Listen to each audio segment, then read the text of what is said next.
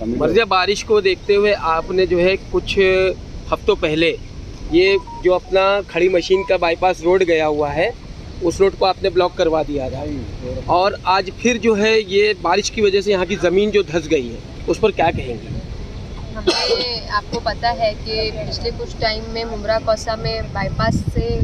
Bypass के related में relation में हादसे हुए और लोगों की जान गई है। तो हमने उसी के लिए ऊपर बोर्ड भी लगाया था कि heavy vehicles not allowed this side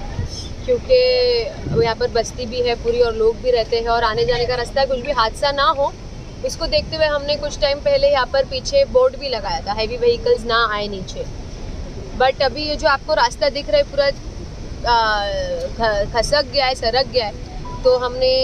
महापालिका को और पीडब्ल्यूडी की जो टीम है, उनको इसका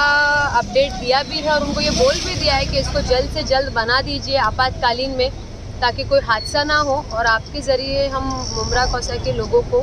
और जो भी लोग ये देख रहे हैं, उनको बताना चाहते हैं कि ये रोड जो है, ये बंद कर दिया गया है।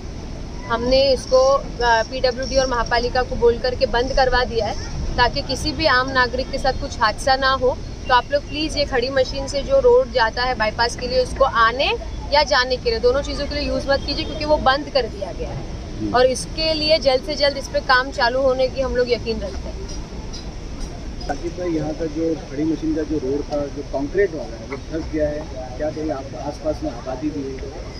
पीडब्ल्यूडी के इंजीनियर और आपातकालीन के इंजीनियर और जो महानगर पालिका के भी जितने एग्जीक्यूटिव इंजीनियर्स आए थे आपातकालीन के भी लोग आए थे उन्होंने इसका मुआयना किया और उन्होंने हम सबको आश्वासन दिया है शानू भाई को और हमारी पूरी टीम को कि जैसी ही बारिश रुकती है हम फ़ौरन काम करके उसके ऊपर तत्काल इसका काम करके इसको जो भी इसका सॉल्यूशन है निकालेंगे और टेम्परेरी तौर पर ये रास्ते के लिए फ़ौरन एक्शन लेते हुए पूरे रास्ते को बंद किया गया है।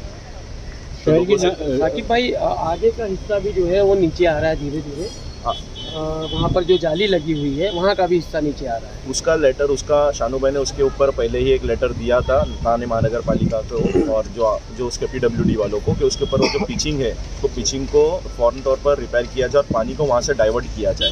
तो उन लोगों ने अभी आश्वासन दिया कि जैसे ही एक दो दिन में उसके ऊपर भी काम चालू कर दिया जाएगा।